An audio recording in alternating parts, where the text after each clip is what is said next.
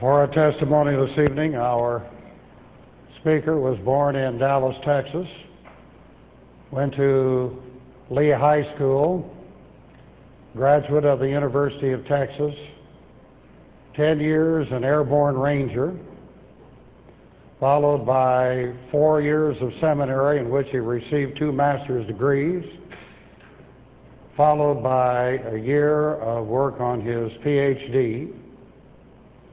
And uh, because of the necessity of getting publications out at the over at TMP, he has been pulled out of what shall I call it, Illinois, somewhere up there, to come back and to join the staff at TMP, the editorial staff, in order to begin and in the writing of the materials that I'm putting together. He joins Wayne Hill in this function. And I thought it would be apropos to officially launch him before this large firing squad. And it is my pleasure to present to you Robert B. Thieme III.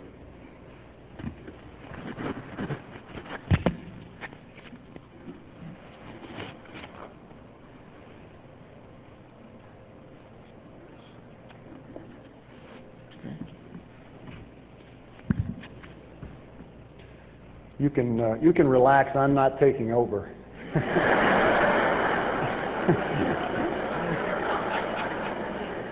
I'm not even preaching tonight. So it was uh, it was 20 years ago this week that I uh, that I packed up my Volkswagen bus and uh, and I said goodbye to my parents. In fact, it was right out here on the parking lot of Berachah Church, and I left for college. And I have not resided in the city of Houston uh, since that time, so I've actually been gone for about 20 years. Although, of course, I've been back for visits uh, and occasionally an extended visit. But this has not been my home for about 20 years uh, until last week. And uh, this has been kind of a strange week for me. I uh, in the 20 years that uh, I've been gone, and uh, in about 10 or 15 years prior to that, I guess all told about 30 years, the only residence that I've known in the city of Houston uh, is my parents' home. And uh, I've been waking up in a, in a strange house for the last week, and it really doesn't seem like Houston to me.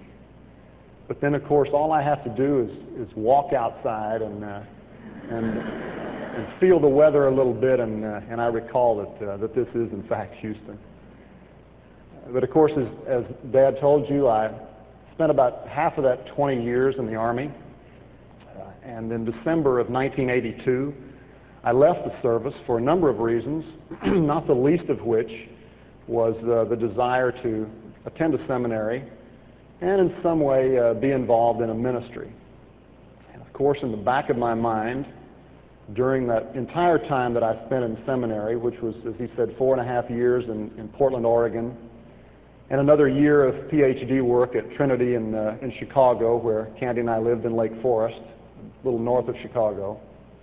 That entire time in the back of my mind was always the thought that maybe there's a possibility that at the end of all this, I can come back to Houston and be involved in a ministry that I think is not only the most important ministry in the world, but also to have the privilege of, of working uh, with a man that I respect, not only as a father, but as a great pastor teacher.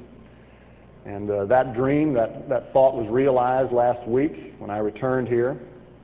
Uh, it's, uh, it's been one that, uh, again, as I say, has been heavily on my mind these four and a half and five years of preparation.